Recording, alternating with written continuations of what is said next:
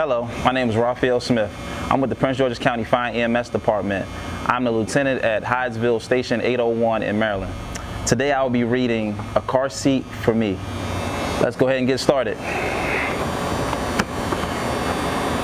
I am big. I'm growing up. I'm not just a little pup. When our car goes down the street, I want to ride there on the seat.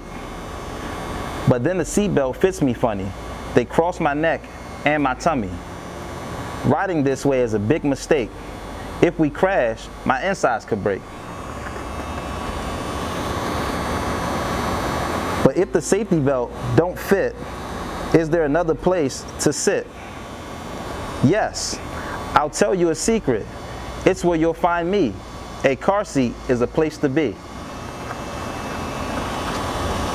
Without my car seat, it's hard to see.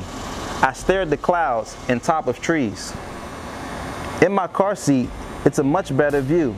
So pay attention, I may see you.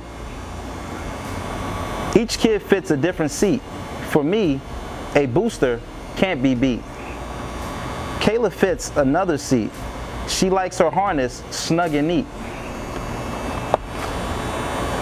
We like to ride where it's safe. The back seat is our special place.